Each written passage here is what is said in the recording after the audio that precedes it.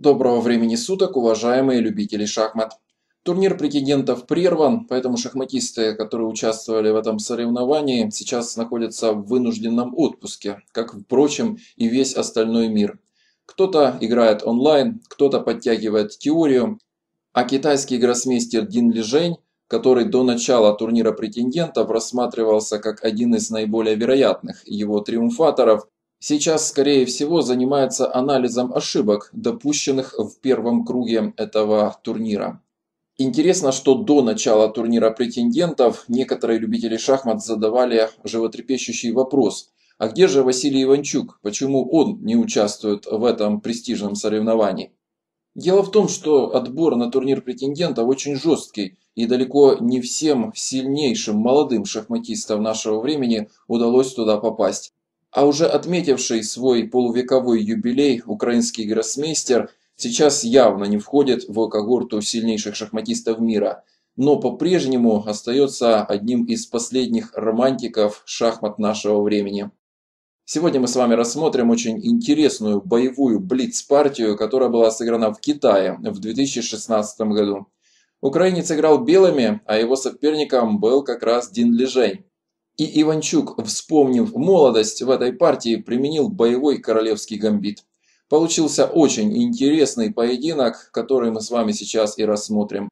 Сразу хочется сказать, чтобы вы не судили строго как игроков, так и комментатора. Это была блиц-партия, и, конечно, в таких условиях количество ошибок возрастает, даже у элитных шахматистов.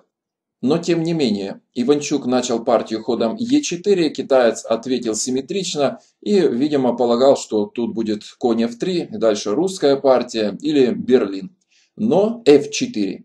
Конечно, на самом высоком уровне королевский гамбит встречается весьма редко, и шахматистов, которые его продолжают применять, можно пересчитать на пальцах одной руки – но Василий Иванчук за свою шахматную карьеру сыграл с десяток королевских гамбитов, причем очень часто белыми выходил победителем из жаркой тактической схватки. Дин Лижень принимает гамбит и слон c4. Иванчук играет старинный гамбит слона. Именно так была сыграна знаменитая бессмертная партия Адольфа Андерсона, а также поединок того же Иванчука против Сергея Корякина в Юрмале в 2015 году.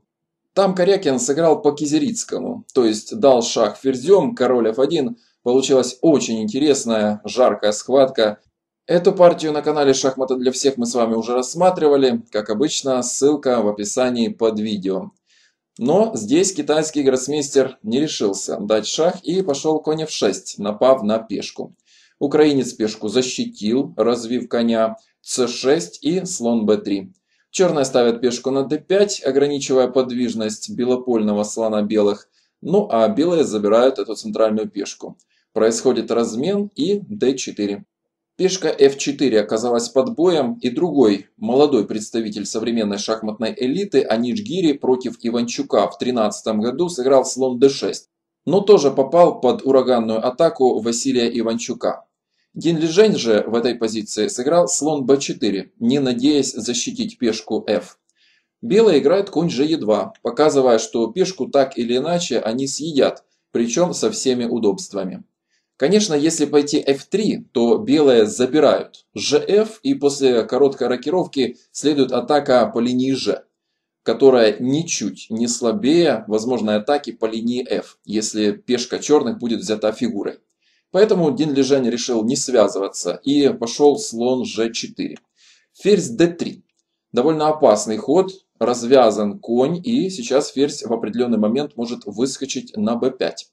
Рокировка со стороны черных, 2 нуля и здесь наконец f3.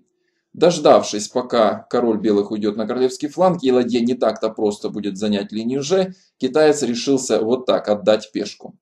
Иванчук забирает пешку своей пешкой, и в этой позиции Дин Лижень делает очень мягкий ход, который является совершенно несвоевременным.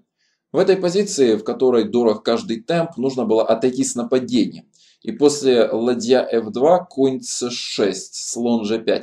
Белые сохраняют определенное преимущество, но у черных достаточно неплохое развитие и все шансы отбить возможную атаку на королевском фланге. Но Дин Лижень сыграл иначе. Он пошел слон h5. Идея китайца понятна. Поставить слона на g6, напасть на ферзя. Но когда Иванчук ставил сильнейшую фигуру на это поле, он, конечно, понимал, что ферзь на d3 не задержится. Этот перевалочный пункт будет являться мостиком для переброски ферзя на ферзевый или королевский фланг. Далее в этой позиции белые сыграли слон g5. Черные реализовали свою идею и ферзь b5, нападая сразу на две пешки и на слона.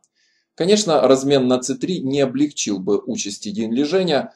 На это поле встал бы другой белый конь и угрозы на b7 и d5 сохранились бы.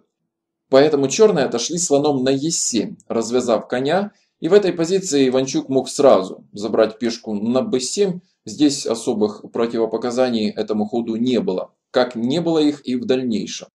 Но Василий Михайлович в этой партии концентрируется не на пешках. Его цель – король черных. Хотя, забегая наперед, нужно сказать, что и лишних пешек в этой партии у Иванчука будет довольно много. В этой позиции он сразу забрал на f6 и после ответного взятия слоном скушал на d5, напав на слона. Конь становится на c6. В этом положении можно просто разменяться на f6 и укрепить центральную пешку ходом c3, получая здоровую лишнюю пешку в центре и к тому же проходную. Но Иванчук сразу сыграл c3, позволив слону убежать на h4. Конь становится на f4, ферзь d6, взятие и забрали с шаха. Король становится на h1. Сейчас идея белых поставить ладью на g1, ну а черные своей ладьей занимают открытую линию. После нападения на ферзя тот отходит на h6 и ладья g2. Конь e7 играют черные, и здесь Иванчук наконец приступает к сбору урожая на ферзевом фланге. Черные же, понимая, что у них не хватает уже нескольких пешек, пытаются создать атаку на королевском фланге. Конь f5 играет Дин Лежень, ферзь d7 и ладья e6. Слон c2. Конечно, в этой позиции ход конь g3 парировался простым взятием. Дело в том, что отскочить слоном, напав на одну из белых фигур, не получается, потому что все они стоят на белых полях. Ну а ладья а1, конечно, недоступна. Но если забрать на g3 с шахом, то король g1 непонятно за что отдана фигура. Поэтому Дин Лежень сыграл конь e3. После размена последовала ферзь f5. Конечно, можно было забрать пешку на а7, но Иванчук все-таки косится на королевский фланг. Понимая, что на доске разноцвет, украинский гроссмейстер пытается извлечь максимум из своего активного белопольника. g6 играет Дин Лежень, слон b3.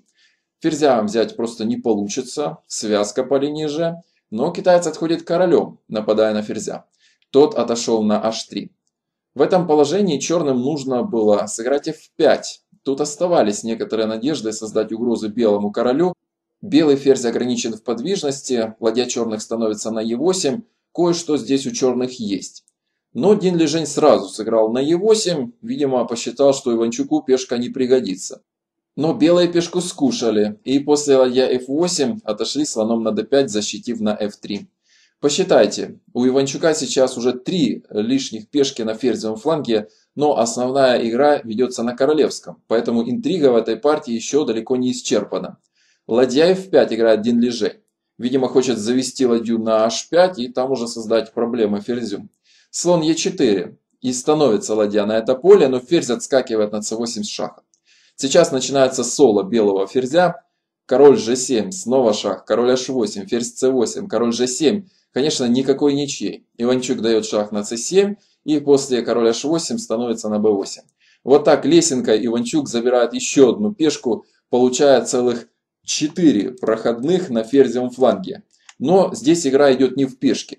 Иванчук хочет поставить королю соперника мат. Король h8, ферзь b8, король g7 и ладья f1. Слон f6 играют черные и снова град шахов ферзь c7, король h8, ферзь c8, король g7, ферзь d7, король f8 и решающий ход слон d5. Угроза мата заставляет черных перекрыть седьмую линию, но ферзь c8 и здесь уже черные могли сдаваться. Партия же по инерции продолжилась аж до мата, что в поединках гроссмейстеров такого класса случается крайне редко. Король g7, ферзь g8, король f6 и Иванчук влепил своему сопернику мат ферзем на f7. Вот такая очень интересная боевая партия. Соперники сражались с открытым забралом до конца. Дин Лежень даже мат себе позволил поставить, а Иванчук, собрав полное лукошко черных пешек на ферзевом фланге, добился таки своей цели. Надеюсь, что данное видео вам понравилось. В этом случае не забывайте ставить лайки, подписывайтесь на канал Шахматы для всех, оставляйте свои комментарии. Благодарю вас за внимание. До свидания.